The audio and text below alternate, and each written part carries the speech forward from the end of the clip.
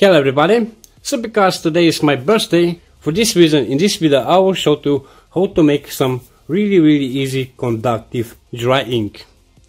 So some conductive dry ink is some ink which don't have any solvent and everything is in some dry form or better to say in some powder form. For example, here I have some base material for normal ink and here I have some mix of solvent and binder. Now I only need to put in is some active material. But like I said, this one is some dry ink and is without any solvent. So to get from this powder to something like this, you only need some heat and pressure. So in basic, some conductive dry ink is made from active material, in this case some conductive material and some plastic which will melt in the temperature range of 100 to 200 degrees C. And for this reason you have many conductive materials and plastic to make some conductive dry ink.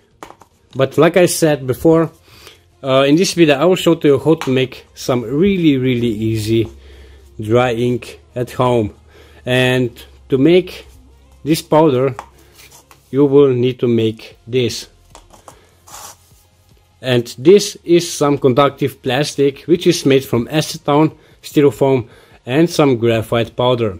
To see more details about this plastic, the link will be in the description below. So like I said, the first step is to make this plastic and you need to be sure that this plastic is entirely dry. Then this plastic you need to crush to small pieces like so.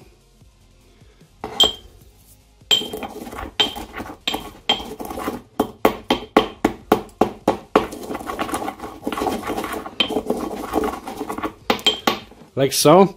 And to get this really really fine powder form you also need to use some coffee grinder. Here I have my coffee grinder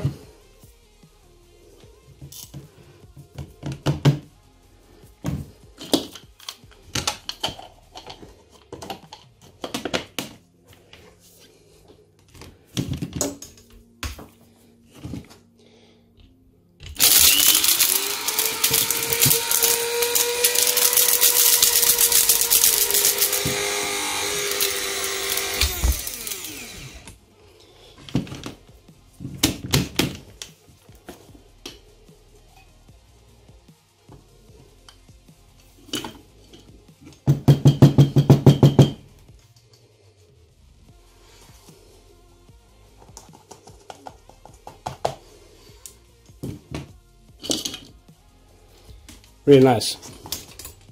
And now of making something like this you only need some temperature and some pressure. For the temperature I will use this iron. And this one is I mean have the temperature of around 100 degrees C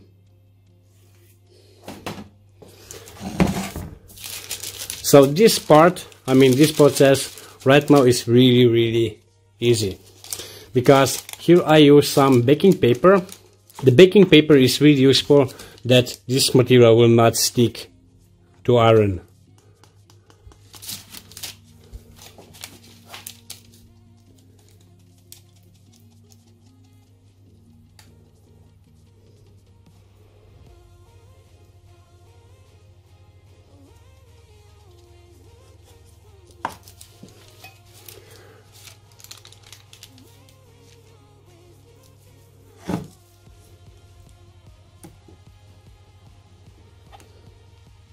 And now you need to press really really hard down.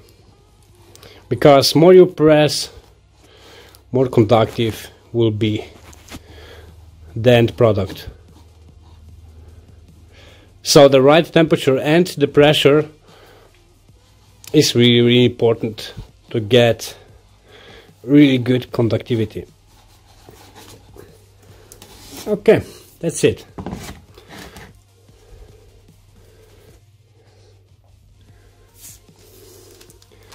This one is a little bit hot.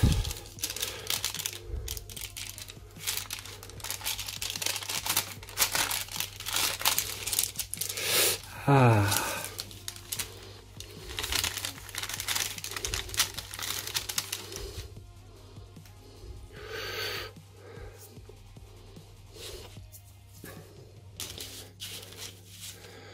and this is what you will get and for the finish let's check the conductivity of this product.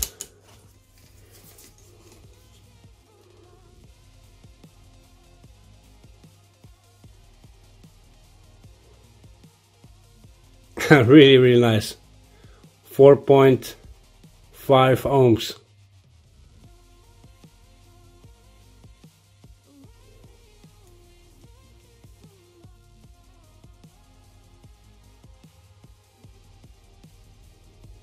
five ohms.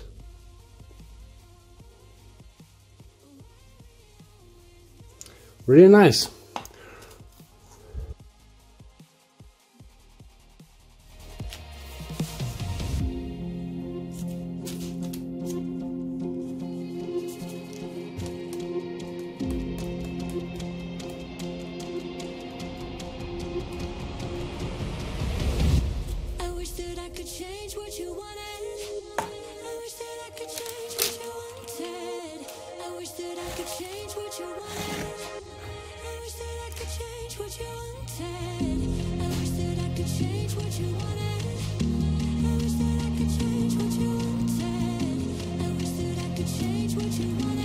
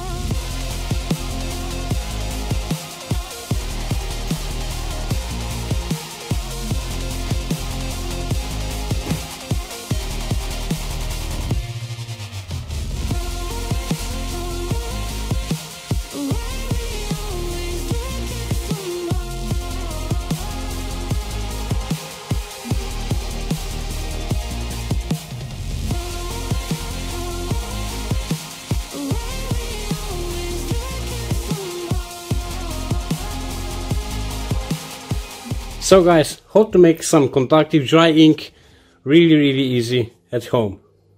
That's it for now and we see us in the next video. Bye.